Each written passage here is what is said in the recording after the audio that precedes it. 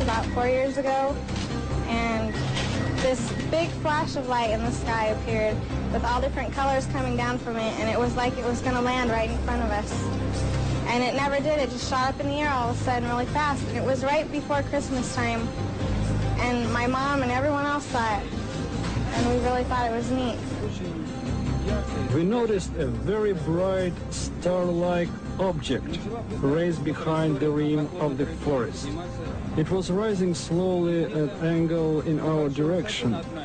Then, when it had reached a considerable height and was right above us, we saw a flash like an explosion. Then this object turned and disappeared out of sight of tremendous speed. While the sightings in the Soviet Union are sensational, the story of Gulf Breeze will play a major role in our program tonight. We're down here in Florida, where we've assembled a whole town full of people who say they've seen the UFO that's haunted this community since last November. The fact that we are in contact with the extraterrestrials shouldn't be hidden from the people. My name is William Coleman. When I was at the Pentagon, I was Public Information Officer for Project Blue Book. Before that, I was a fighter bomber pilot, and I saw a flying saucer. We in the Soviet Union are interested in exchanging information on UFOs and extraterrestrials. Head's a very oval-shaped eyes, uh, very narrow nose, a slit for a mouth, slits for ears, no hair on the head, uh, kind of a bulb-shaped head.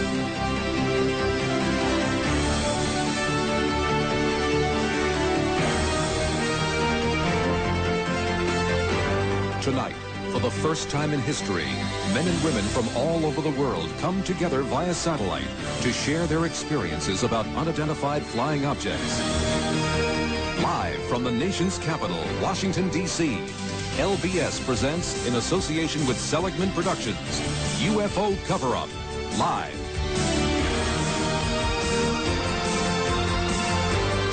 Please welcome the distinguished actor-producer, our host, Mike Farrell.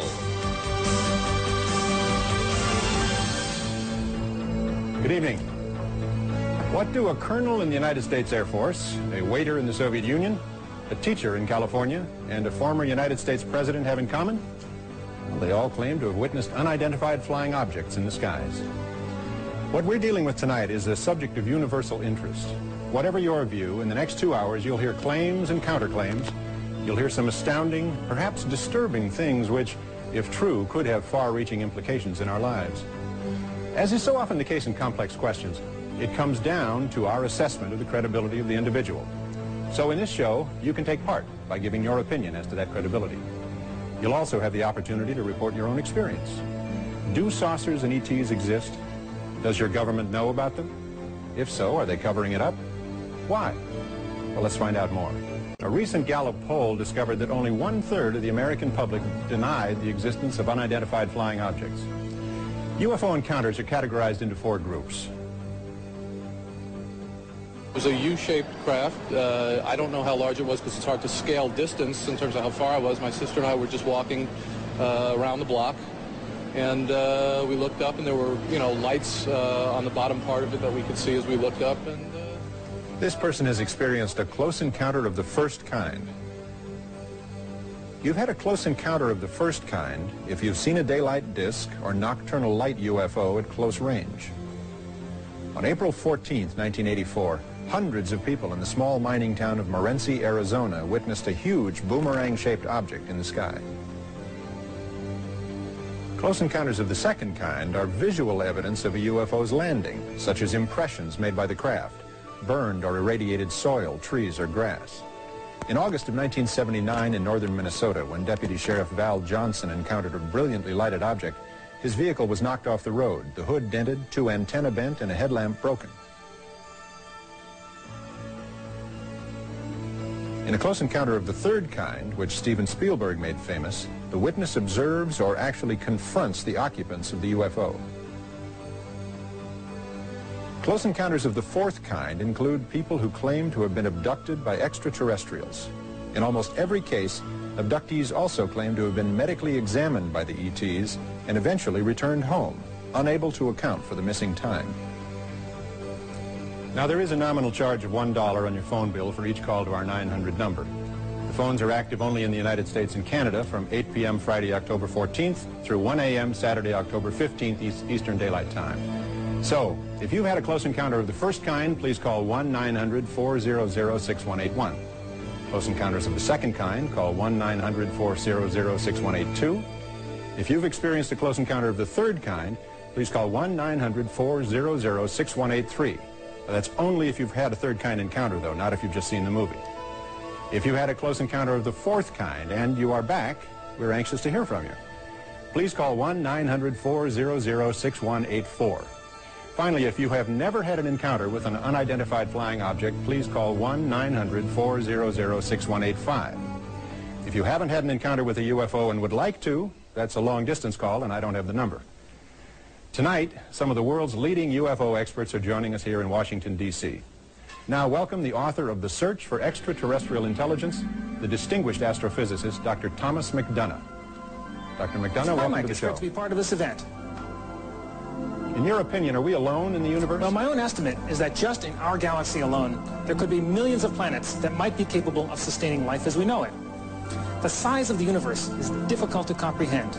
In this galaxy, there are several hundred billion stars. Each one of these dots represents a galaxy, like our Milky Way.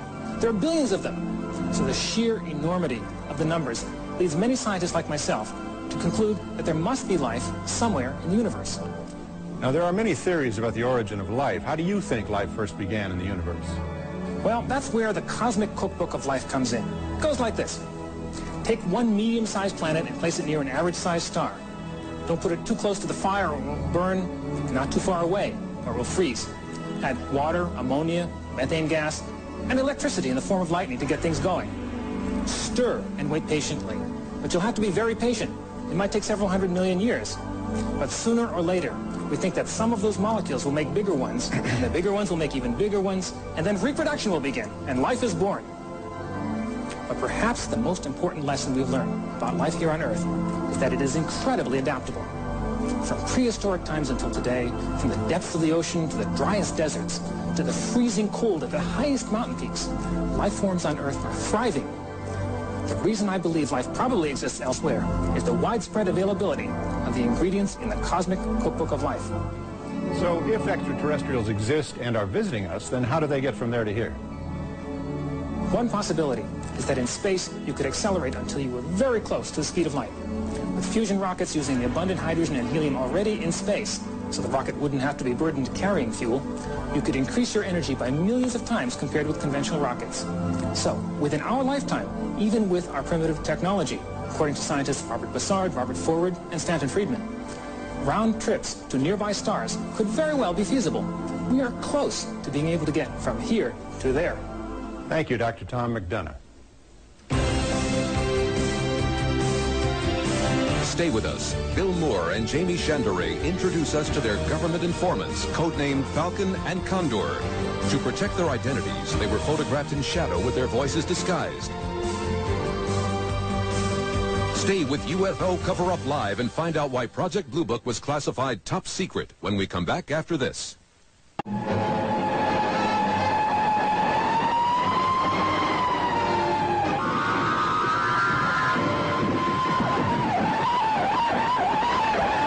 Once again, live from Washington, D.C., your host, Mike Farrell.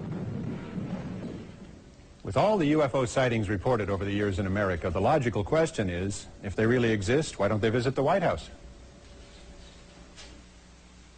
And then there they were, all of a sudden, on July 26, 1952. The Air Force tried and failed to intercept up to a dozen UFOs in the sky over the White House. The press conference two days later became the largest media event since the end of World War II. We can say that the recent sightings are in no way connected with any secret development by any agency of the United States. With all due respect to the Air Force, I believe that some of them will prove to be of interplanetary origin. In my position in the Research and Development Organization of the Bureau of Aeronautics and of the Navy Department, I am thoroughly familiar with both our aircraft and our guided missiles programs and can state without reservation that the Navy has no saucer-shaped aircraft or missile in any of these programs. Headlines around the country aroused so much attention that the Air Force formed an official investigative unit, Project Blue Book. With me now are two retired Air Force colonels who were actively involved in that inquiry. Colonel Robert Friend, who headed up Project Blue Book for five years, and Colonel William Coleman, a former Air Force squadron commander who was Pentagon spokesman and chief of public information for the Air Force. Colonel Friend, Colonel Coleman, welcome. Gentlemen, has the Air Force been involved with UFOs before the White House incident? Uh, during World War II, our pilots saw what were called gremlins and Foo Fighters. These were fireballs that appeared to fly along with our aircraft. Hmm. We were concerned that these so-called Foo Fighters or fireballs might be foreign weapons that could threaten our national security. And did the Air Force ever try to chase a UFO? Yes, in fact, in 1948, one of our pilots crashed in pursuit of a UFO. The story made headlines all over the world. As I understand it, that crash added impetus to the conclusion that UFOs were extraterrestrial visitors. That's true.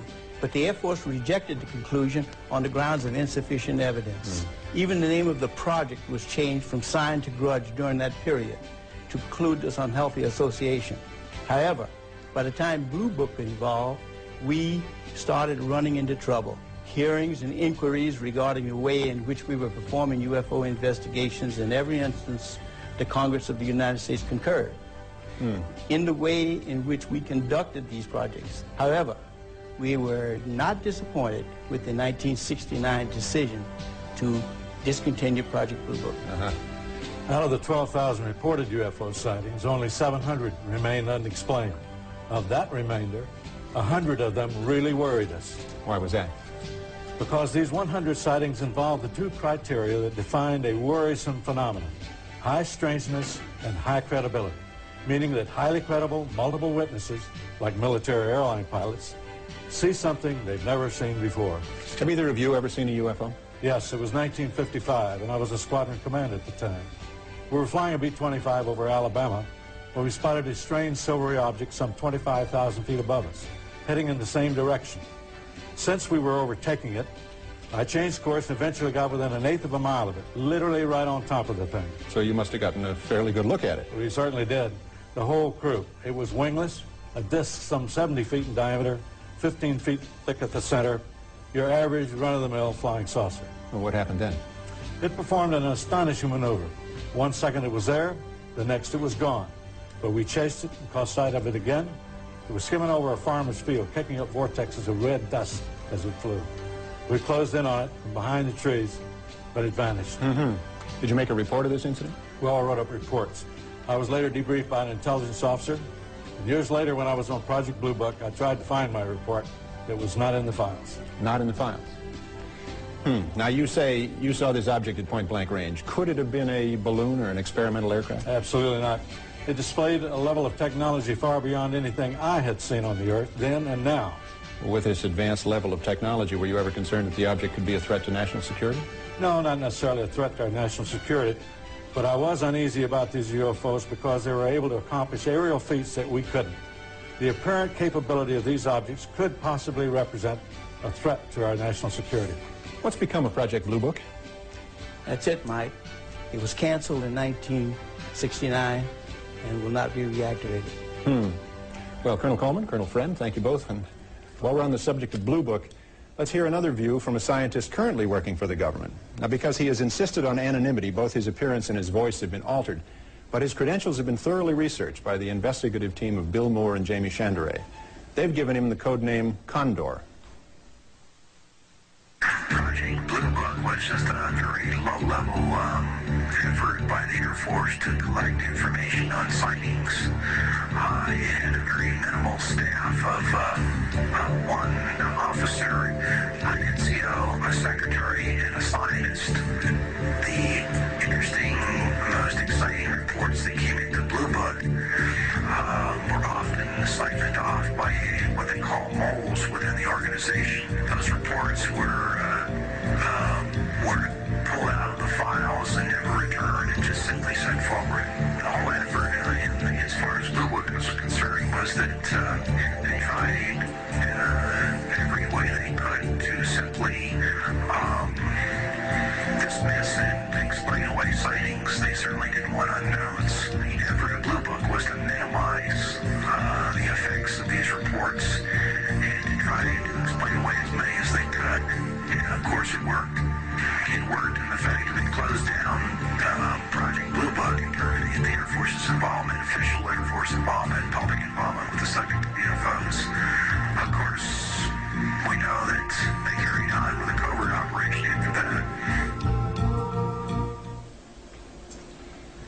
Book closed down, the official U.S. government position was that UFOs didn't exist, and Americans accepted this contention as fact.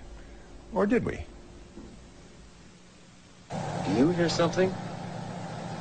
Hear what? I don't hear. Shh, Listen.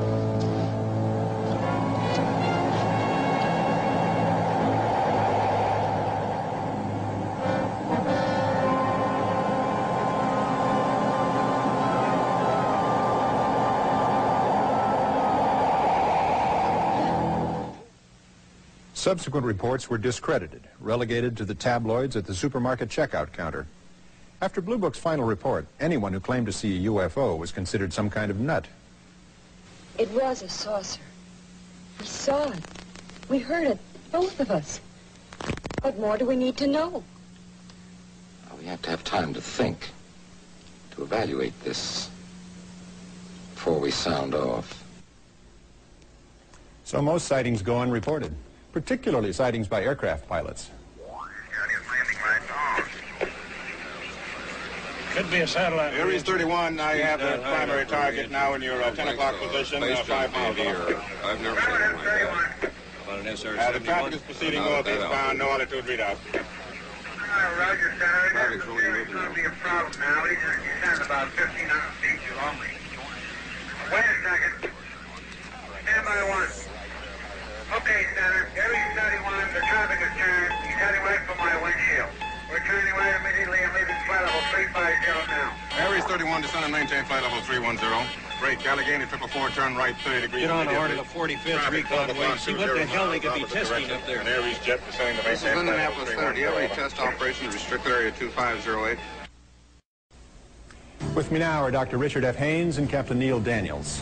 Dr. Haines, now retired, directed research and development projects at NASA's Ames Research Center for 20 years.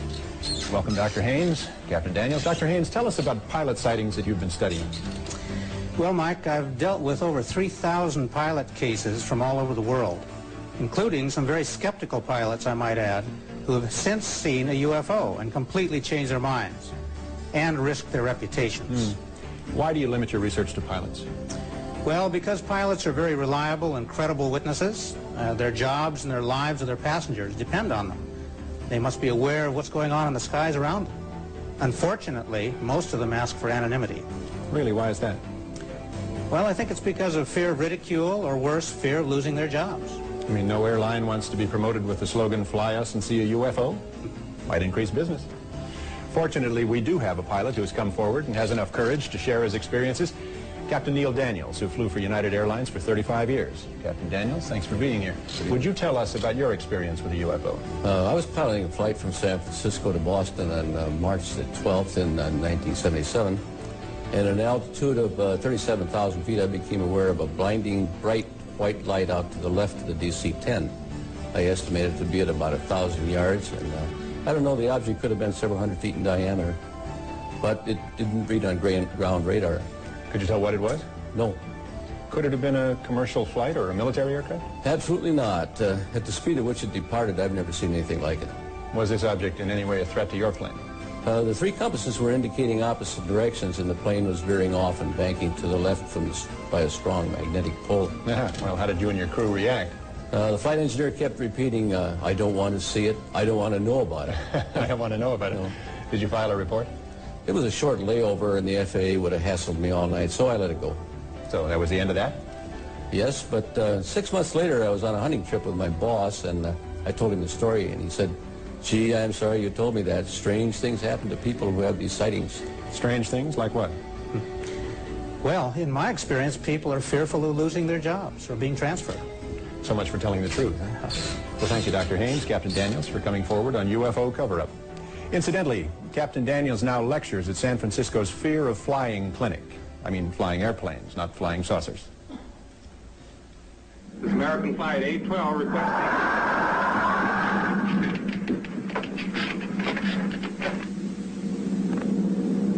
Holy mackerel. Burbank Tower to American Flight 812. Are you in trouble? trouble? Take a look for yourself. World. That's nothing from this world. Coming up, a startling report live from Moscow. Not only did the pilot and the crew see the UFO, but also many of the passengers of the plane. UFO sightings are happening all over the world. Through the Freedom of Information Act, we've obtained a report from Iran. September 18, 1976, the Imperial Iranian Air Force reported flying objects so bright they illuminated the ground below.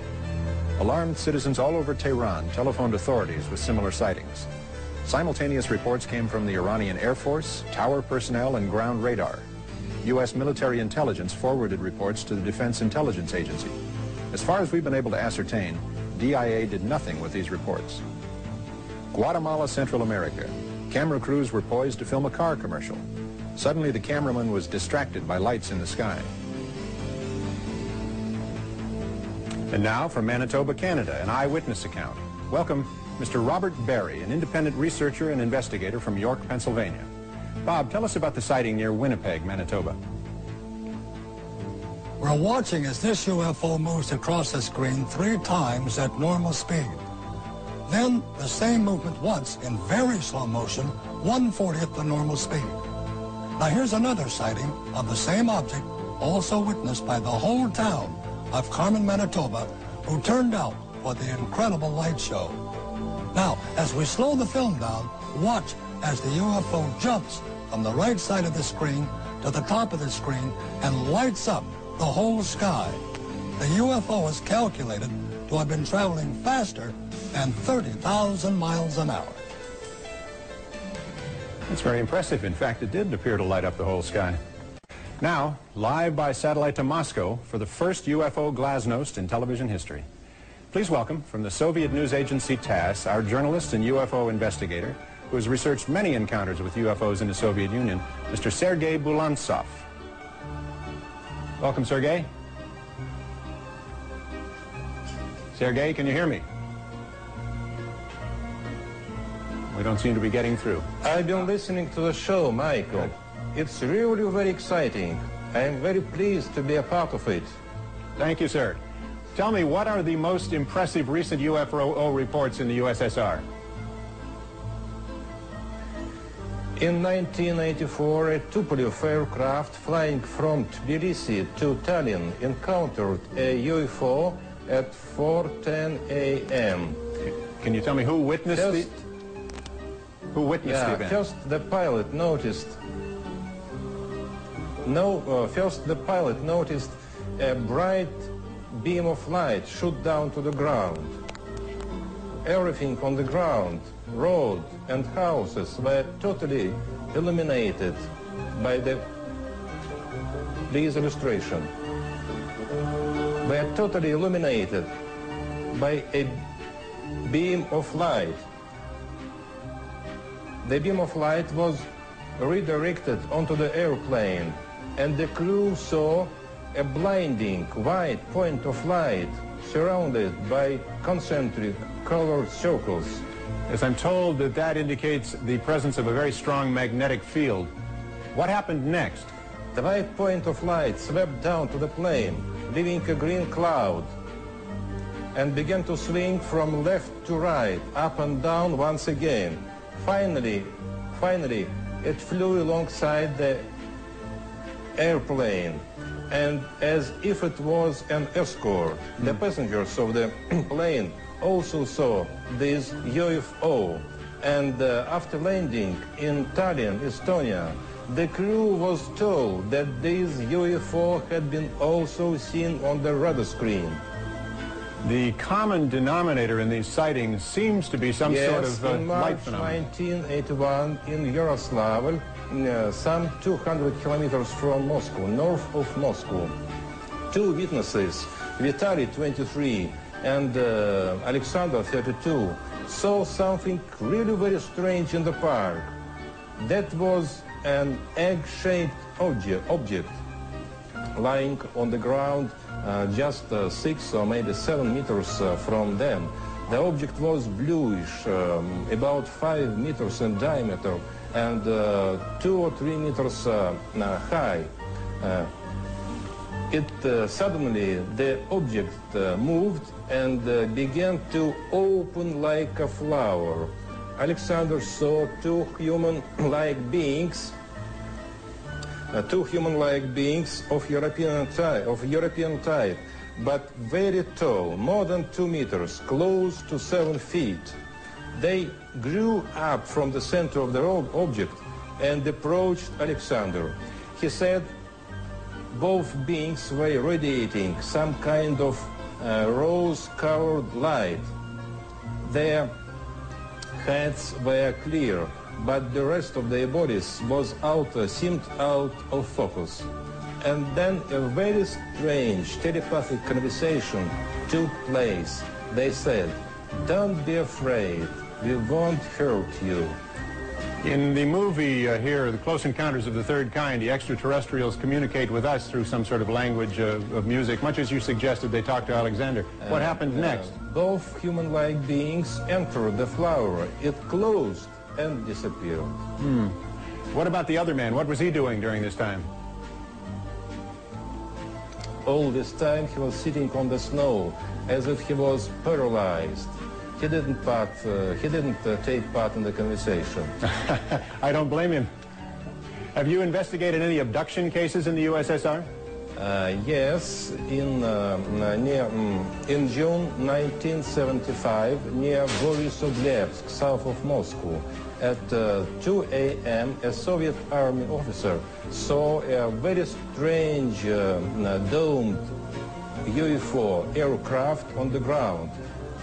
He, he approached it and saw two alien silhouettes inside.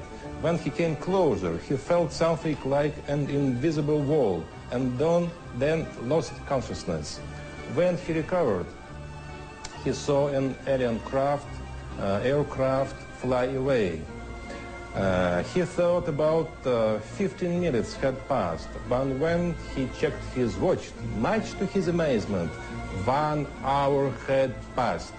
And later, he uh, had the same dream over and over again. He was flying over the UFO landing site. Uh, so he thinks he was abducted. That sounds actually very similar to some of the abduction stories we've encountered in the United States. I understand you have some photographs that you can show us? Yes, certainly. Uh, uh, this one was made uh, in Bulgaria, near Stara Zagora, in uh, July of 1978. A married couple was drinking tea at their country house when they saw this hovering object. They took this snapshot with a Polaroid camera. And uh, this UFO, this uh, UFO had been seen. Please change picture. Please change picture. And another UFO, this UFO Yes, this UFO had been seen uh, near uh, at the Murmansk region, near Finland's border. The same year, this snapshot had been reportedly made by the militia. Thank you, Sergei. Joining us now is Leonard Nikishin, Science Secretary, excuse me, of the Working Group Extraterrestrial Intelligence in the USSR Academy of Sciences. Mr. Nikishin, I understand that you have thousands of reports of UFO sightings in the uh, Soviet Union. Yes. Most of them were, were explained uh, later as natural events, but some were mysterious and unexplainable. I feel these are extraterrestrial probes without life as we know it. Uh, you mean unmanned space probes. Was there any uh, official reaction to UFOs from Soviet science? Recently, most uh, scientists here dismissed them. But now the situation is uh, changing.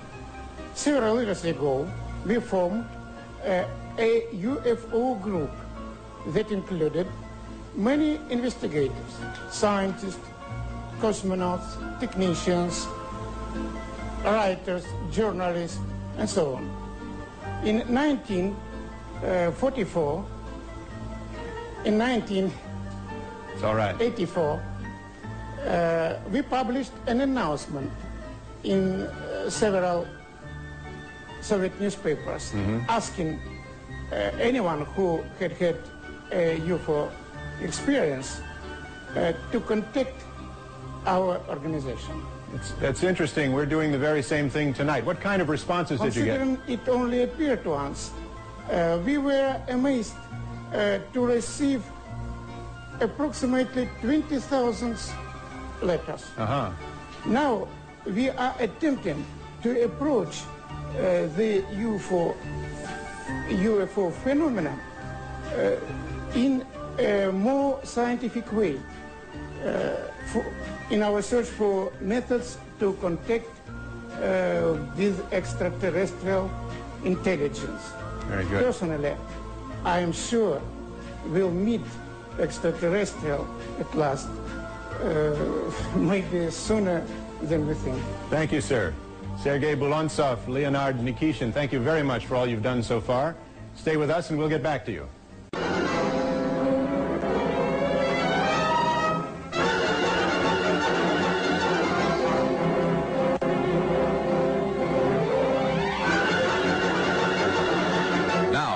To Washington, D.C. live and Mike Farrell.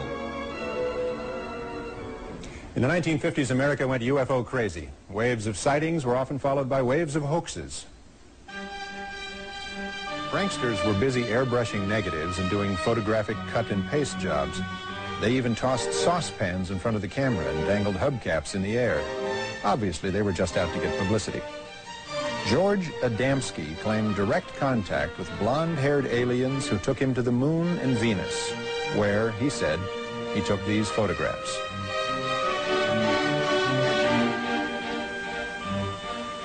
Then came the Barker incident at a small airfield in West Virginia where this film footage was shot. This was termed the Lost Creek Flying Saucer. Many people who saw this film believed that the hanging thing you see was in fact a UFO. We'll leave it to you. The 60s and 70s brought various groups of people who actually built saucer-shaped vehicles and attempted to fly them. And about 10 years ago, there began what we believe to be the most elaborate hoax of all. A Swiss farmer, Billy Meier, claimed to have had direct contact with an extraterrestrial group from the Pleiades star system. Meier produced photographs of what he called beam ships. And uh, uh, the occupants of these beam ships. Interestingly, one of the aliens looked very much like a Swiss fashion model, and the so-called beam ship was found in his barn. Now, Billy Meier's beam ships may have been obvious hoax, but thousands of UFO sightings from all over the world are not so easily explained away. Joining me now from the suburbs of New York City are Robert Pozzuoli, a computer systems executive, and his wife, Lori. I'm glad you could be with us tonight. Thank, you, and nice to be here. Uh, tell us what happened to you four years ago.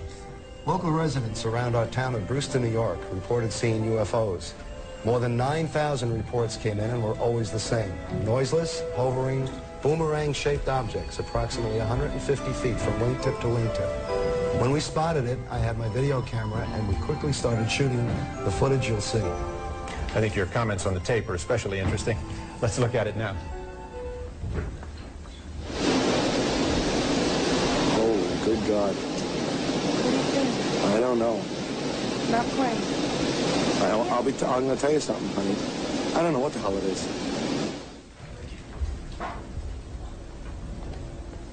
Tell me, what kind of effect this sighting has had on your life? Wow, we've become very popular. well, that's certainly not bad, is it? No. Oh, Bob and Lori Pozzuoli, thank you very much for joining us tonight. Thank you. Now, from the piney woods of East Texas on December 23rd, 1980, comes a bizarre close encounter of the second kind experienced by our next guests, Betty Cash and Vicki Landrum. Betty, Vicki, thank you for making the trip here tonight. Welcome to our show. Tell me, what happened to you that night? It was a very cold night. Vicki and I and her grandson were coming back from playing bingo. Suddenly, little Colby noticed a bright light in the sky above the pine trees. A tremendous amount of heat was coming from this diamond-shaped thing. Fire was coming out of the bottom of it. When it moved, it made a swishing sound, and there was a beeping the entire time, a deafening beeping. that I still hear in my mind at night. All three of us got out of the car, but Toby and I got right back in. I just stood there terrified for about 10 minutes. The object lit up the surrounding pine woods like it was daylight. I was burning, my skin was burning. Well, you must have been terrified. How long did the craft hover over you? Oh, about 20 minutes. Hmm. Fire was coming out of the bottom like a blowtorch. It lifted up and then flew over the trees. That was when we saw the helicopters come out. The helicopters? Colby County, 23 of them. And I understand, in fact, you later identified them as CH-47 Chinook military helicopters. Yes, it seemed that they were trying to escort the craft somewhere. It looked like they were about to collide. The roar sounded like a tornado. When we got home, I washed Colby off and put him to bed. When the water touched his skin, he cried out like he had been burned, as if he had been in the sun too long. Mm. And I was too sick to work the next day. My eyes swelled closed and welts appeared on my face and head. I thought I was going to die. Dickie came and took me to the emergency room of the hospital. They treated me like a burn, burn patient. Over the next few days, I kept losing big patches of skin on my face, and about half my hair fell out. They kept me in the hospital over a month with no improvement. It seems to me it takes remarkable inner strength to survive an ordeal like that. How are you doing now? I have cancer.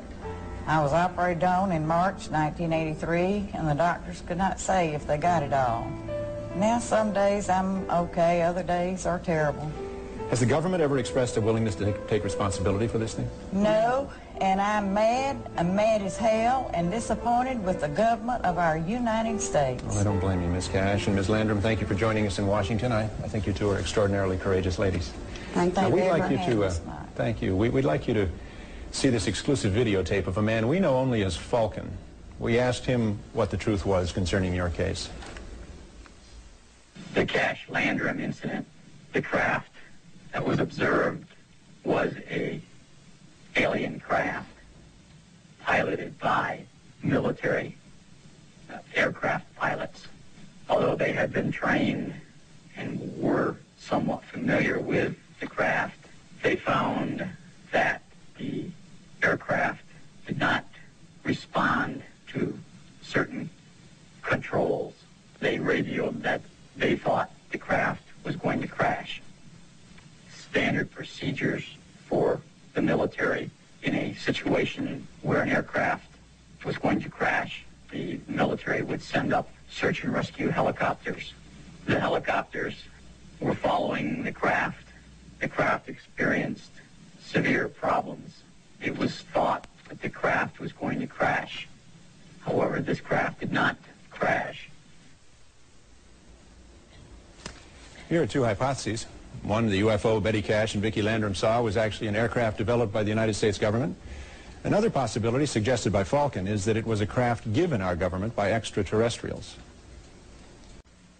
Rosemary Osnato, a commercial graphic artist, lives in New York City's East Village. Rosemary suffered a broken kneecap last year and is recuperating from the injury. Al Hassim lives in the Bronx with his wife and 11-year-old daughter and works the 4 p.m. to midnight shift for the telephone company in Manhattan. In his off hours, Al likes to play guitar and write songs. Lisa Salviano of Lake Hiawatha, New Jersey is 24, married, and pregnant with her first child. She works as a secretary in Morristown, New Jersey. These three ordinary individuals, unrelated to one another, share one extraordinary experience. With the guidance of a psychiatrist, Dr. Rima Laibow, they have been able to relive deeply buried memories that will astonish you.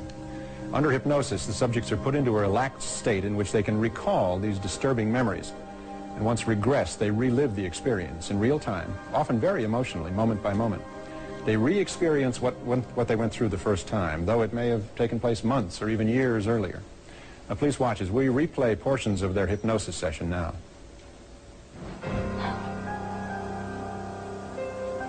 I could see the, uh, the lights in the city, and there was this light coming over my head. Very bright, very intense light, very sharp, heavy. It was coming straight down. Kept looking to see what was on the roof. I'm trying to see what it is. I can't, I can't see what it is. What's preventing you from seeing Because it's so bright, I can't, I can't look through the brightness to see what it is. I was uh, woken up. I was sleeping. And I woke up. Mm-hmm. There's something outside my window. Mm-hmm. They wanted me to go. They wanted me to go out. Mm-hmm. And I didn't know how I would get out there because the window was there. Mm-hmm. But when I thought that, all of a sudden I started to move up and out. And I went through the window. And I thought that was so neat. Can you feel your feet on the floor and walking in the regular way? No. Oh. It's, it doesn't seem like I walk because it seems like I don't see anything like when you walk you you can see like things going up and down when you walk. This is smooth. When you get to the end of this walk, where are you? Some kind of control or something. Mm-hmm. What makes it look like some kind of control room? Because of this, it's like a big console in there. I think there was a table in the room. Table in the room. Like an eating table? Mm-mm. Oh, what kind of table? Like a doctor's office. If you make me lie, lie on it. Lie down on the table? You're lying on your tummy? My back. On your back. When you're lying there, are you alone? No, they're all over. They're all over. Does anybody touch you? I think they do, yeah. Where do they touch you? I think like my arms and legs. Are you alone? No, they're all over. How many of them are there around the table? At least four or 5 hmm And are they all doing something, or are they all watching? No, they're watching too. Uh-huh. How many of them are actually doing something? One. They're so ugly. What makes them so ugly? They look mean. What makes them look mean? they don't smile. They don't smile. God, he's ugly. That is an ugly thing. Very ugly. His head looks so pathetic. His heads, they, they just don't look right. Their heads don't look right. They look distorted and very sickly.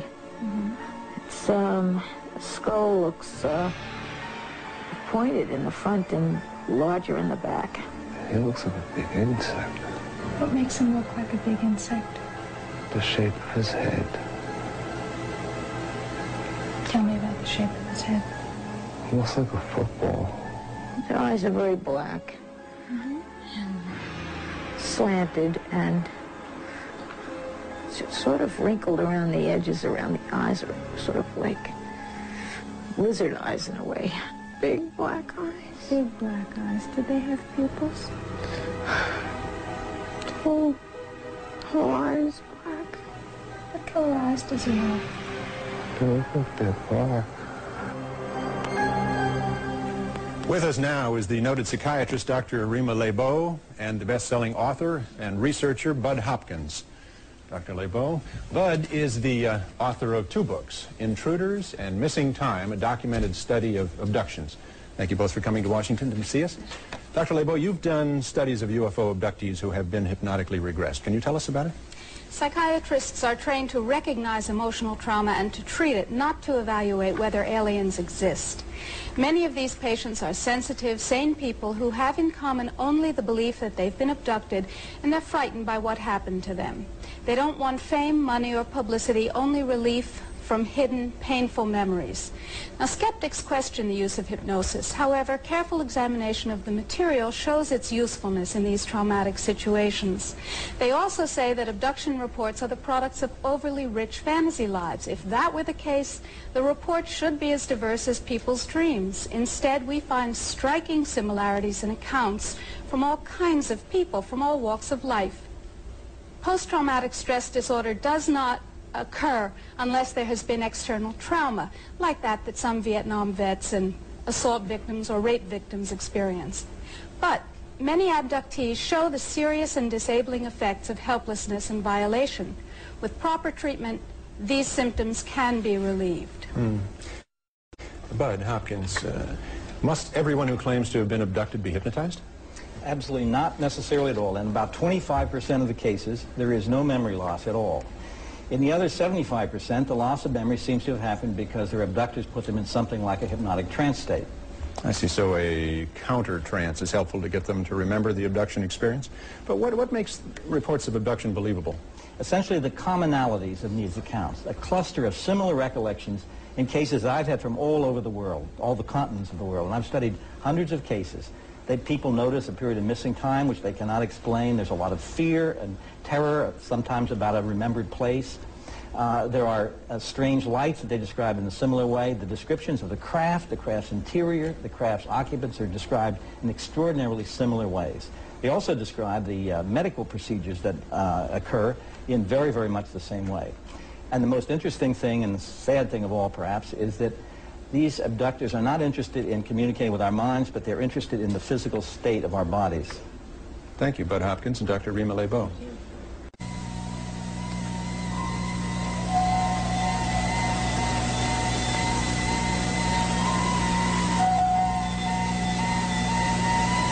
Come. I will show you wonders you have never seen before. UFO Cover-Up continues live from Washington, D.C. with our host, Mike Farrell. One of the most intriguing UFO stories occurred in July of 1947 in New Mexico. With me now are Bill Moore, co-author of the Roswell Incident, and nuclear physicist Stanton T. Friedman. Both of these gentlemen have done extensive research on this case. Thanks for joining us. Bill, how many people were involved in the New Mexico incident? We have personal testimonies from about 100 people. One of the most important of these people was Bill Brazel. Brazel's father managed the land where the incident took place. Apparently, a UFO had been caught in a thunder and lightning storm while in the area. The next day, Brazel's father went out on horseback to check for property damage and came upon the wreckage of a strange aircraft which fanned out for nearly half a mile. The corpses were found a couple of miles from the site of the crash. Wait, just a moment. Corpses? Dead alien bodies, uh, called extraterrestrial biological entities, EBEs if you wish. We got reports that they appeared to be small humanoid bodies with large hairless heads, wearing one-piece seamless gray skin-like clothing. We assume they must have ejected from their craft uh, with some kind of ejection capsule. The Air Force came and recovered the bodies and took them away for autopsies. Gentlemen, autopsies, EBEs, this is rather unsettling information. Level with us. What do we know to be fact? We know these are the facts. A very strange spacecraft exploded. Pieces of the craft were recovered. Several bodies were found and removed along with the wreckage. We can prove the story was covered up very quickly at the highest level and given a classification above top secret. Flying saucers are real, period. First person sent by the Air Force to investigate the crash site and to take care of the wreckage was a Major Jesse Marcel. Let's meet his son, Dr. Jesse Marcel, who was 12 years old at the time and, needless to say, has never forgotten that incident. Welcome, Dr. Marcel. Nice to see you. Jesse. Bill. Jesse. Doctor, tell us, if you will, about the night your dad came home from that crash site. My, my, father came home with his car loaded with debris after investigating the crash site. He brought the material into the house where he, my mother, and I sorted through the stuff. Among the litter was a foil-like sheathing alloy. It was metallic and it looked like the skin of an aircraft, but it was unlike anything I had ever seen. Also, there was an I-beam about a foot to a foot and a half in length, about one half inch across. The inner surface had hieroglyphic-like symbols on it, like Egyptian symbols, as I recall them. And what was the Air Force's explanation of all this? The ex explanation was that a weather balloon had crashed. Did your father think it was a weather balloon? Anything but. I believe the meaning behind his words was that he suspected there might have been some kind of cover-up. What happened to all this debris you've described? Well, the debris which had been removed was never seen again. It was taken from your house? To Carswell Air Force Base in Fort Worth, Texas. Now, Dr. Marcel, you've examined the material firsthand. You've had a long time to think about it. What is your assessment of the Roswell incident? I held the material in my hand. It was not from this earth or this universe. Or this universe. That's what I think. We're not alone. Thank you, gentlemen. Now, if this story is true, uh, then we have to rethink the government's role in the history of UFOs. The government, in fact, may have had the answer in their hands over 40 years ago. The United States Air Force has played a major role in America's attitude toward unidentified flying objects. Here's another account of how the Air Force dealt with such phenomena. With me is author and filmmaker Robert Emenegger, uh, and former security manager and chief of requirements for the audiovisual program at Norton Air Force Base, Paul Schartle. Gentlemen, Mr. Emenegger, how did you get involved with UFOs? Well, it was in 1973 when I was vice president at Grey Advertising, and I took time out and went to Norton Air Force Base to explore subjects for television specials related to the Defense Department. While discussing several of the subjects, UFOs came up, and Paul here told us about a film of a landing of alien crafts at uh, Holloman Air Force Base about three years earlier. What did you see, Mr. Schartle? I saw footage of three disc-shaped crafts. One of the craft landed and two of them went away. Why did it land? It appeared to be in trouble because it oscillated all the way down to the ground. However, it did land on three pods. A sliding door opened, a ramp was extended, and out came three aliens. what, what did they look like? Well, they were human-sized. They had odd gray complexion and a pronounced nose. They wore tight-fitting jumpsuits, thin headdresses that appeared to be communication devices, and their hands, in their hands, they held a translator, I was told. A Holloman base commander and other Air Force officers went out to meet them. Now, you actually saw these aliens on the film? Yes. This film footage sounded very, very special, and we wanted to use it as the ending of our television special. And did you? Was it in your special? Well, although the Pentagon had been very, very cooperative all the way, at the last minute the film was confiscated and we lost the whole finale of our show. But what I saw and heard was enough to convince me that, you know, the phenomenon of UFOs is real, very real. Mr. Schartle, what did your superior officers tell you? I was told it was theatrical footage the Air Force has purchased to make a training film. Well, that sounds plausible, doesn't it? Well, if it were a, a uh, theatrical film, why didn't I have a record of this? It was my job to keep accurate records of all audiovisual purchases. Is there any other reason that you feel this was not a theatrical film? Yes, it was too real. The people who were shooting that day were Air Force personnel. Lucky for us, the day they were shooting, they were doing an acceleration test. It's too bad we couldn't get that footage from the Air Force. Gentlemen, thank you very much for being with us tonight. One of the most compelling sightings in recent years took place in Gulf Breeze, Florida, where over 100 people witnessed a UFO. I believe Gulf Breeze will turn out to be one of the most important UFO cases of all time. Hello, Gulf Breeze.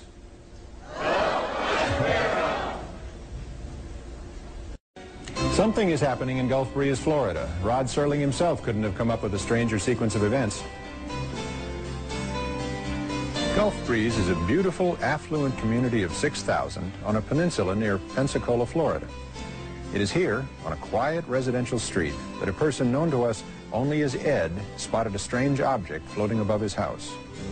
November 11, 1987. Ed snapped five photographs that day and changed his life forever. Over the next seven months, he saw the object several times, shooting another 36 pictures with three different cameras. Witnesses include his wife and kids, family friends, neighbors, and even city officials. Two other people allegedly photographed the same object. Could it be a secret military device? Gulf Breeze is literally surrounded by military bases, but the public information officers disclaim official knowledge of any UFO. Now here's Ed's photograph of a UFO. Notice the strong blue beam that Ed claims first paralyzed him, then levitated him and dropped him. Clumsy aliens? This is the most famous of Ed's photographs, which he took weeks later through the windshield of his truck. The UFO hovers just three, three feet off the ground, its beam reflecting off the asphalt. Ed says he was partially paralyzed again, but escaped this time. This is Ed's home video, shot as he crouched in the bushes near his home. The UFO retraces its path, rotating as it travels through the same airspace. Notice how it goes behind the trees, in and out, reversing direction and coming back. Now, Ed is a respected family man, runs a successful business, and has shunned all publicity and declined to be on our show. What about it, Gulf Breeze? Is there really something going on down there, or is it all an elaborate hoax? Duane Cook is editor of the Gulf Breeze Sentinel. Donald Ware is a UFO investigator who claims to know of 153 first-hand witnesses who have seen the object. Jerry Brown is the chief of police in Gulf Breeze. Don, you're an ex-Air Force officer who's firmly convinced something extraterrestrial has been appearing in the skies around, um, above, above Gulf Breeze. What convinced you? Mike, one couple had 22 encounters, including 18 separate photographic sessions in a five and a half month period. And many, any independent witnesses, highly credible, also reported seeing the same objects that were photographed. All right. Four people reported seeing the aliens Six reported blue beams coming from the UFO, and 10 have reported periods of missing time. Okay, how about you, Chief Brown? I take it you're not convinced. No, sir, I'm not. Uh, we are one of the, have one of the busiest airspaces in the country, and uh, not to say that all these people here are lying, not telling the truth. I firmly believe they are seeing something because at any time or any place there's different lights, different things that you can see. Mm-hmm. What I don't believe is the things the local papers and the TV media has put out of a flying saucer with beings from another planet. I just simply don't believe that. Mike. Okay, Duane, I guess you could say that you're the fellow responsible for stirring this up. Your paper has faithfully supported Ed's story, much to the consternation of many of your neighbors. Well, I guess you could say we have stirred it up, Mike. Uh, but I really can't say I'm aware of any too much consternation. Uh, most of Gulf Breeze really believes Ed's photographs and his story, mm -hmm. just like they believe the hundred plus other witnesses that have seen it, most of which are here tonight. Now, reporter Mark Curtis in Pensacola has followed the saga of the Gulf Breeze UFO from the very beginning. What were your initial thoughts? Mike, I was amazed at the detail and clarity of these photographs, but I was very skeptical. So we brought in some photographic experts to look at them, and none have been able to tell that these pictures are fakes. Also, Ed has taken two lie detector tests and passed them both. Aside from the picture, though, this is the story of the witnesses and the people. Charlie Summerby and his wife Doris saw this object last November. Charlie, if you could tell us what you saw. Well, it was right after the sunset over East Bay. We saw this circular object. It was bluish gray in color and uh, with light shining out through portholes. And the really amazing thing was there was no sound. Jesse and Alice Bertram, please join us. Jesse is a youngster here. He was playing with a friend last December. Tell us what you saw. We were climbing a tree and we saw a blackish white object and it was moving. Then it disappeared. We ran behind the Gulf Breeze Elementary School and then it we saw it moving again. Then it disappeared. Mrs. Bertram, what did you do? Did you believe these youngsters when they told you this? No, I didn't. I'm a skeptic anyway. But I had them sit down at different ends of the table and draw what they saw, and the pictures were identical and they matched what were in the newspaper. One of the most interesting sightings came from Jeff Thompson. Jeff, if you join us and tell us what you saw in the morning during the daylight on November 11th. Yeah, it was November 11th at 8:10 in the morning. A UFO came within 400 feet of me at treetop level. I noticed two military jets were following it about two air miles. The UFO shot up at a 45 degree angle and waited for the jets to approach a little closer, and then in an instant it just shot straight up. What happened to the jets, and are you sure they're military jets? Yeah, they're military jets, I believe out of Eglin, because around here we just have the red and white Navy training jets, and they just, the, the, the military jets just kind of curved over the bay and went on back towards Eglin. This may just be the tip of the iceberg. How many people in this room tonight have seen a UFO? Raise your hands, please. Wow. There you have it, Washington. Okay, well, you keep watching Gulf Breeze because you'll find this next thing interesting.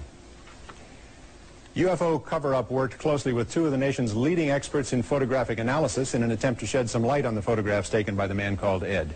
Dr. Robert Nathan has been with the Jet Propulsion Laboratory for 16 years. During that time, he's exposed many UFO photos as hoaxes. Our staff gave Dr. Nathan several of the negatives in the hope that his advanced techniques in computer enhancement would shed some light on the controversy. I'm uh, not too comfortable with the Gulf Breeze photographs. I feel that many of these images are uh, double exposure photographs. The craft in many of these images seems to be a, a different focus, that they're either more sharply focused or fuzzier. Than the surrounding uh, background objects. The uh, spacecraft appears to be rather uh, bright. It's as if there is some kind of external light shining on it. The situation that would arise if the craft were in a room at an earlier time with room light shining from all directions. Uh, it seems that in quite a few of these pictures, the uh, very top and bottom of the spacecraft are very sharply cut off, whereas the rest of the image is uh, rather fuzzy, giving me the feeling that there was some kind of uh, cut and paste onto some surface. It appears that with every photograph where this object appears, that it's against a relatively uniformly dark background, the kind that you need for double exposure. When you add two images together, you get the intensities added, and even though the uh, portholes, if that's what they are, appear rather dark, they're never darker than the background sky. I've been chasing these UFO sightings for over 30 years. I would have liked to have said differently, but I'm afraid the Gulf Breeze photographs just don't check out. Thank you, Dr. Nathan. Now to make things perfectly clear, a man who takes a completely different view is Dr. Bruce Maccabee, an optical physicist working for the U.S. Navy who has explained many UFO photos in the past. Dr. Maccabee, you've spent hundreds of hours studying these images, and you've come to the conclusion that there's no hoax involved in this case. Is that correct? Yes, Mike. Uh, Dr. Nathan has studied only a few of the photographs. I, on the other hand, have analyzed all the photographic evidence, which includes stereo photos that allowed me to calculate the distance and size of the UFO. I have also analyzed the videotape. I have asked myself, if the photographic evidence were a hoax, how was it done? I have considered many methods for creating trick photos. Each method can leave a characteristic flaw within a photo. And I have searched for such flaws. For example, I have looked above each UFO to see if there is a fine line indicating it was suspended by a string. Mm. I have looked below each image to see if there is any indication it was resting on a table or a post. I have looked for reflections in glass, double exposures, and photographic montages I have found that none of these methods had been used. Therefore, after many, many hours of analysis, I have found nothing in the photos which could refute the sighting reports. My opinion is that the photos are genuine and these crafts are not from here, unless there's some race other than the human race operating them. Thank you, Dr. Maccabee, for your analysis. Earlier in the show, we met Bill Moore. Joining us now is Jamie Shandera, a television producer and director. Both began regular contacts with government agents regarding UFOs six years ago and amassed an enormous quantity of information about the government's UFO program. Welcome, gentlemen. Uh, Bill, tell us how you first got involved. I got a phone call after appearing on a radio show from a man who said, You're the only person we've heard talk about this subject who seems to know what he's talking about. He convinced me that he was a government intelligence agent and wanted to begin disseminating some information about UFOs to the public. And the man Bill is referring to is Falcon, whom we've seen in shadow to protect his identity. That's right. I didn't think that I could handle it all alone. The volume of material I was getting from Falcon was rather mind-boggling, so I got together with Jamie. And we joined forces in June of 1982, and Falcon told us about MJ-12. MJ-12 functions as a policy-making group relating to extraterrestrial activities and contacts and UFO activities within the United States.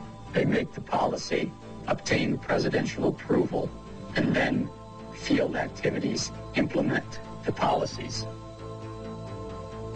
How did you acquire the MJ-12 documents? Well, they were mailed to me in a plain brown envelope, which contained President Truman's executive order establishing MJ-12 and the briefing document to President-elect Eisenhower informing him of the 1947 crash in Roswell, New Mexico, and the recovery of alien bodies. Now then, there were follow-up postcards, Ethiopian picture postcards mailed from New Zealand with puzzles and riddles. Right, the puzzles were clues. For example, for a stylish look, shop Suitland. This led us to the National Repository in Suitland, Maryland, where we discovered the existence of top-secret documents and filed a Freedom of Information request, which led us further to the Cutler Twining document. Now, all of our meetings with Falcon were secret. Now, wait, gentlemen riddles, postcards, secret meetings, code words. Didn't you suspect somebody was pulling your leg? Well, we always look for a hoax, but within every clue, there was always some verifiable fact. So you were able to verify MJ-12? Validating MJ-12 was difficult because we couldn't find any government agency that would admit publicly that they were aware of MJ-12's existence. Well, so without validating it, how do you get from there to here? Well, after hundreds of hours of research, we're working with experts trying to validate the documents. But most important, The contacts have grown to include Falcon and nine other government agents. And why do you believe them? Well, because we've been able to meet with them, we've been able to check and verify credentials, and it's clear that they are in secret, need-to-know positions. Falcon's position, for example, gives him access to the MJ-12 infrastructure. Why don't we just hear it in his own words? MJ-12 was a group of people within the, the government. MJ-12 was created by President Truman in the early 50s. And their job was to investigate, keep track of information pertaining to UFOs. Part of their job was scientific advancements. But uh, their primary purpose was to keep track of the information coming in on UFOs and to analyze the information, both uh, scientifically and in a way that would advance our technology. There are government officials and elected officials that are automatically briefed on the existence of the MJ-12 activities. These officials include the president, the vice president, as elected officials, the director of Central Intelligence, and the director of the National Security Agency. The MJ-12 policy is headquartered at the Naval Observatory in Washington, D.C. The United States Navy has the primary operational responsibilities of field activities relating to the MJ-12 policies. All information gathered in the field, not necessarily by Navy personnel, is transmitted to the Navy for analysis. Other known government agencies feed information to MJ-12 through a top-secret cover project known to us as Project Aquarius. Now, MJ-12 connects to select individuals within the National Security Council, the Joint Chiefs of Staff, the White House Intelligence Unit, the National Security Agency, the Central Intelligence Agency, and the Defense Intelligence Agency. The research is conducted, the data classified and cataloged, all under the umbrella of strictest national security.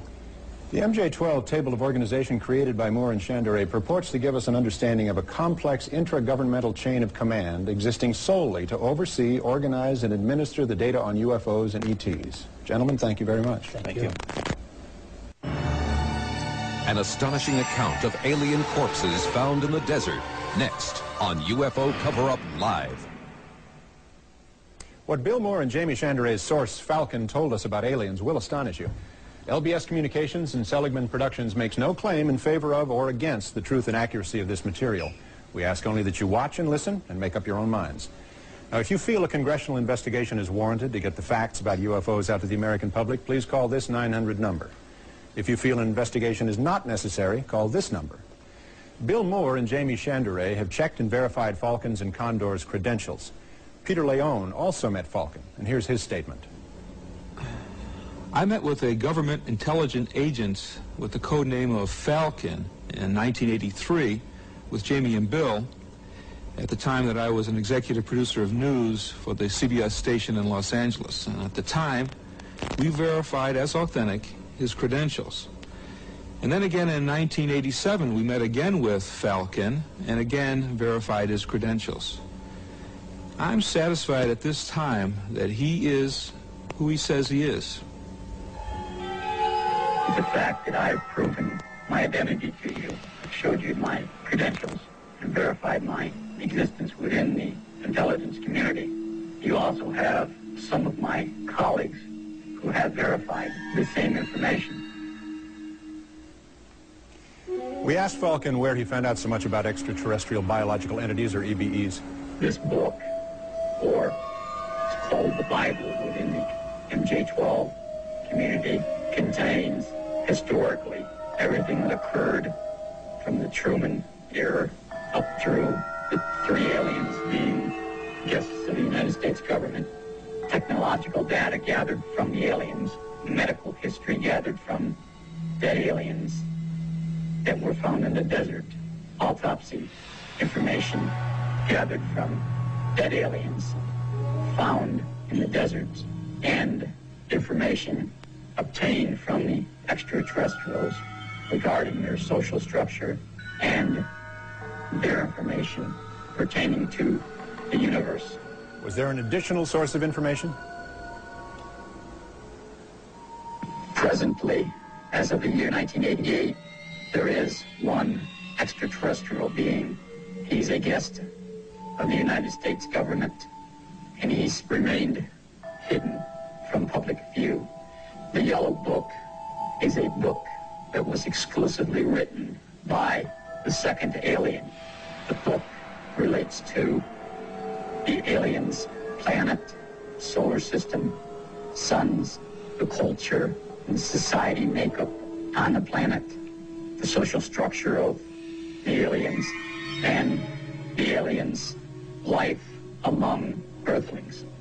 What was most intriguing to me in my experience with the aliens is a, I believe, an octagon-shaped crystal, which when held in the alien's hand and viewed by a second person displays pictures. These pictures could be, can be of alien's home planet or pictures of Earth many thousands of years ago. We asked where the EBEs came from. He was in the uh, Zeta Reticuli star group. Now, Condor tells us about a deal our government made with the aliens. from what he understands, an agreement signed between our, U.S. government and the extraterrestrials. And essentially the agreement uh, says that uh, we won't disclose your existence if uh, you do not interfere in our society. And uh, we allow you to operate from a designated uh, base here in the United States. It's in the state of Nevada in an area called Area 51 or Dreamland. The extraterrestrials have complete control of this base, which is located in Nevada.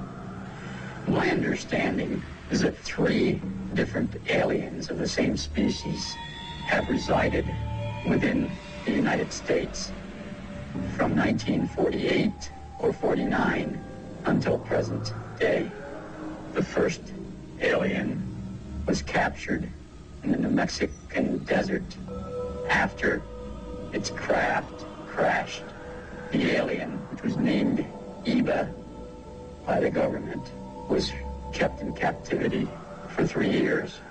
We learned a great deal of information about the aliens, race, culture, and spacecrafts. The second alien was part of an exchange program. I don't recall what year that alien visited. The third alien was also part of an exchange program and has been a guest of the United States government since 1982. We asked what they looked like. You know, a run-of-the-mill EB. A creature about uh, three foot four to three foot eight inches tall. Um, their eyes are extremely large, almost insect style. Uh, their eyes have a couple of different inner lids. The, uh, the days were extremely bright, uh, probably twice to three times as bright as our sun. I think they have just a, two uh, openings where our nose would be. They have a small mouth. Uh, they have no teeth as we know it. They have a hard gum-like area. Their internal organs are quite simple. They have a, a one organ which does the job of our heart and lungs. Their digestive system is, is really simple. Their uh, skin structure is extremely, uh, it's a very elastic skin and hard, probably hardening from their sun. Uh, they have some basic organs. Their brain is more complex than ours. It has a, uh, several different lobes than ours have. Um, their eyes are uh, where our eyes are controlled by the back of our head. Theirs is controlled by the the brain. Their hearing is quite better than ours, almost better than a dog's. Small areas. Uh, their sexual organs are, they have males and females. Their kidney and bladder is one organ. They excrete waste. They have another organ, which I don't know if our scientists determined what it was for, but they believe it's to transfer the solid wastes and the liquid wastes. They have hands without thumbs. and four fingers without any thumbs. Uh, their web-like, small web-like. So many questions occur. Do they believe in a supreme being? What's their intelligence level? What's their average lifespan? It's approximately 350 to 400 Earth years. It's my understanding that the aliens have an IQ of over 200. They have a religion, but it's a universal religion. They believe in the universe as a supreme being. The aliens enjoy music, all types of music, but especially ancient Tibetan style music. We ask about their diet. They do eat vegetables. They like vegetables.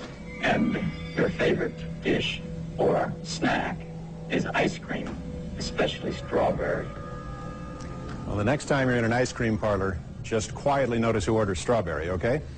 As a wrap-up, Falcon and Condor said to us, I personally feel that this information should be presented to the public. There's only a small portion of the information that we've gathered from the extraterrestrials that should be safeguarded or classified. Condor also suggested he'd like to see a congressional hearing on the subject. Interestingly enough, he, Falcon, and a third source have agreed to meet with the senator's staff to discuss all of the information they claim to have concerning UFOs and aliens. From this meeting, a Senate investigation could ensue.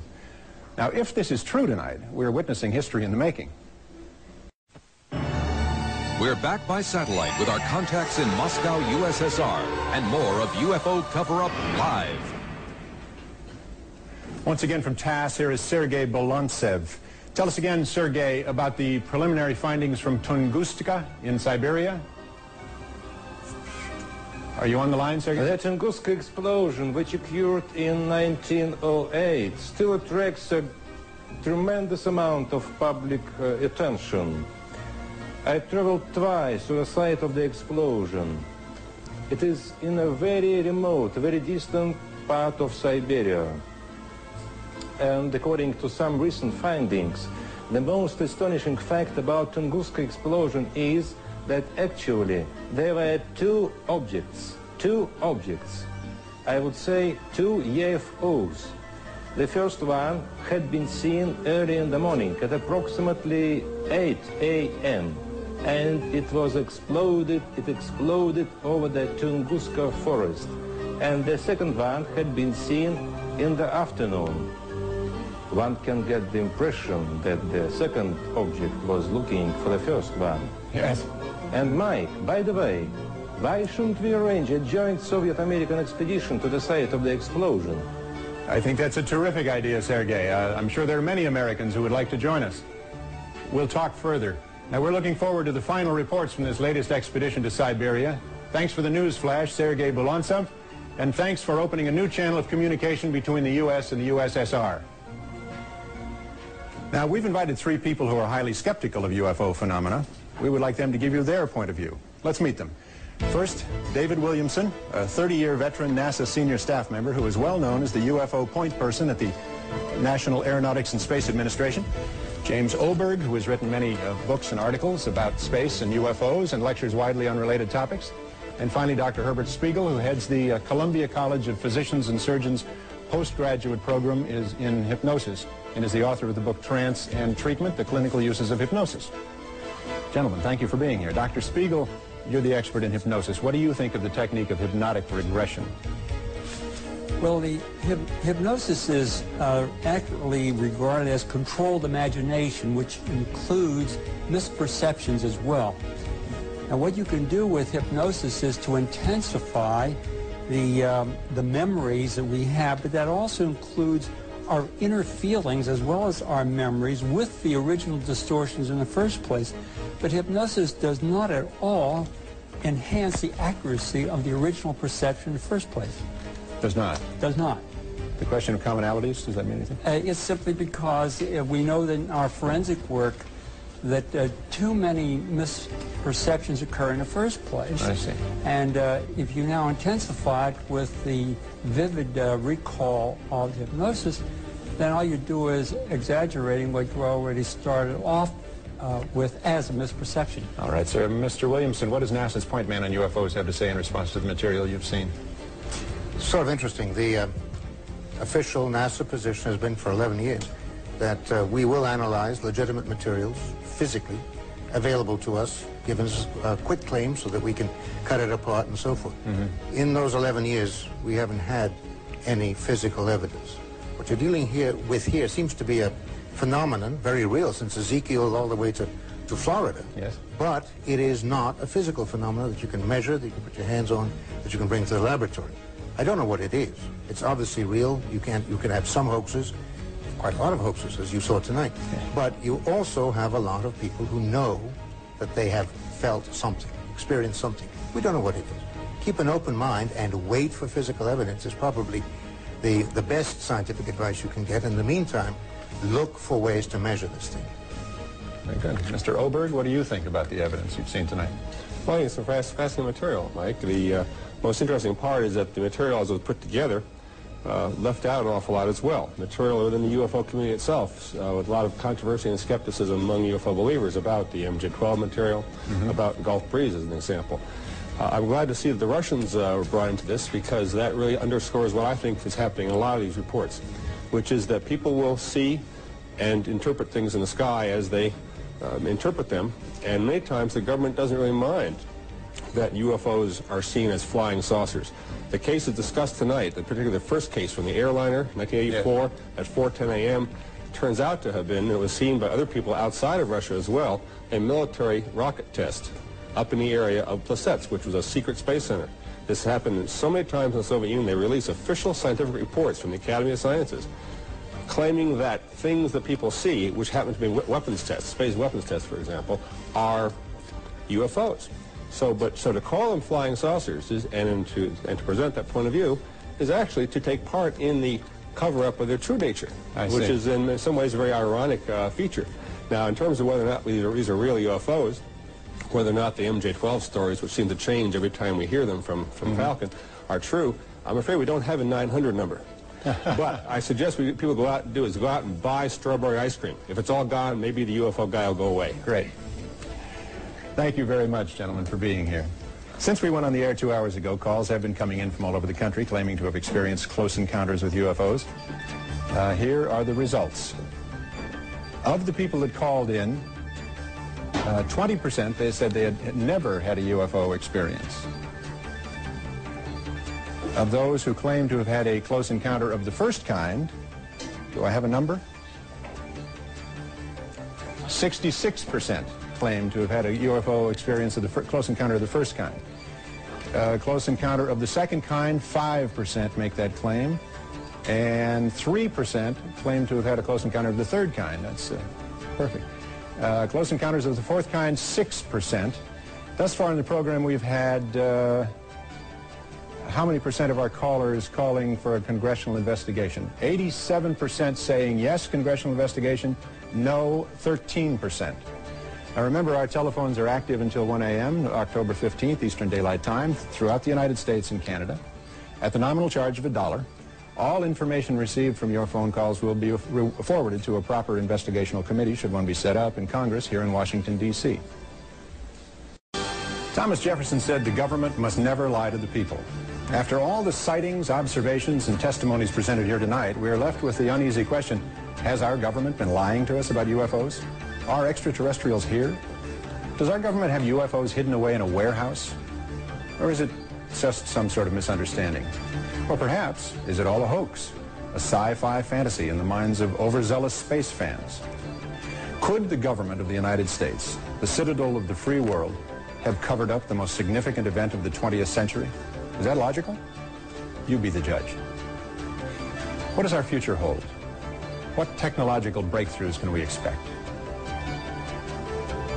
Let's look at the last decade. Computers that filled whole rooms now fit in your shirt pocket. Transmitters that once were the size of a bread box are now the size of a bee. Now, let's look at today. Holographic images, CD and optical disc players created by the laser. We can send more information through a single weightless beam like this in one second than Edison could send in five days through a thousand tons of copper wire. Suppose someday, instead of pictures, we could transmit the life code that makes you you. Beam your DNA the personal blueprint of your essence to some distant star. Scientific reality? No. Speculation. But speculation can work. We speculated on something besides walking. We came up with the car. We speculated about flying. We went to the moon. But this evening, we're speculating about them, the extraterrestrials, not us. Not our technology, but theirs. Perhaps the future holds this promise for us. Perhaps we're not alone. Good night, and thanks for beaming us into your homes.